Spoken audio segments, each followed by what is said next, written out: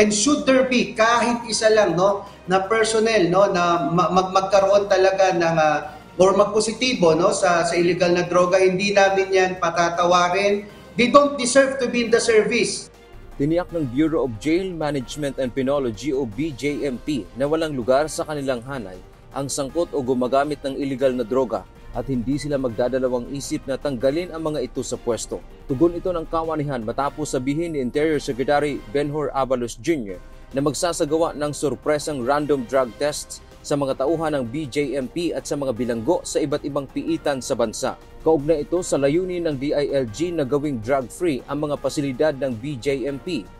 Ayon kay BJMP spokesperson Colonel Xavier Solda, kasama sa mahigpit na security protocols ang pagpapatupad ng inspeksyon lalo na sa ipinapasok ng mga item sa jail facilities upang masigurong walang makalulusot na illegal na droga. Marami kaming mga experience na yung mga bumibisita hinahalo sa pagkain, yung illegal na droga, no, even pinapasok pa sa mga Tetra Pak.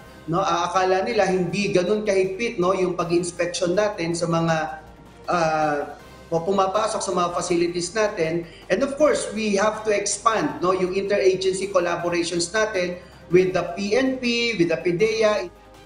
Dagdag pa ni Solda sa 477 na jail facilities sa bansa, 262 na rito ang idineklarang drug-free at apat na po naman ang drug-cleared.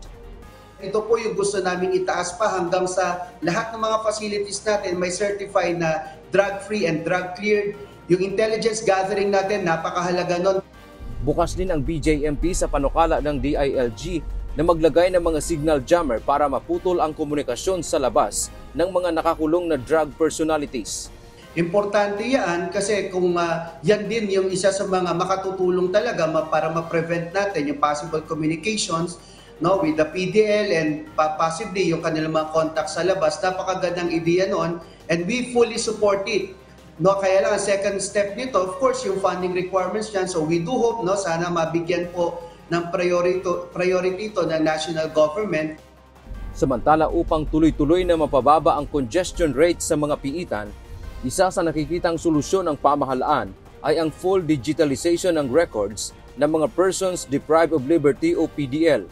Sa pamamagitan nito, mabilis makita ang kanilang records kung sakaling kwalipikado na silang mabigyan ng Good Conduct Time Allowance o GCTA upang makalaya na. Mas madali na ring mamonitor kung sino ang pwedeng bigyan ng parole at executive clemency ng Pangulo. Sa ngayon ay naumpisahan na ang digitalization ng general records ng mga bilanggo at target mailagay lahat sa tinatawag na single carpeta system sa susunod na taon lahat ng facilities ay mayroon ng scanner para sa digitalization.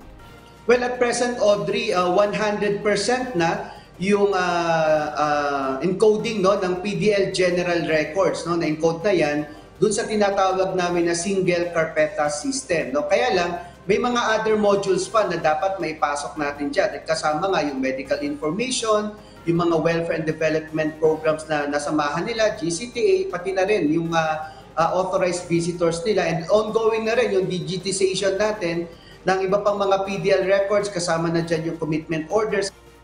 Sa datos ng BJMP, bumaba sa 390% ang nationwide congestion ng kanilang jail facilities mula sa 612% noong 2017. Sa 477 jail facilities, 334 pa ang siksikan ang mga PDL habang 143 naman ang hindi na congested. Dantiamento UNTV News and Rescue. Diyos ang aming sandigan, serbisyo publiko ang aming pinahahalagahan.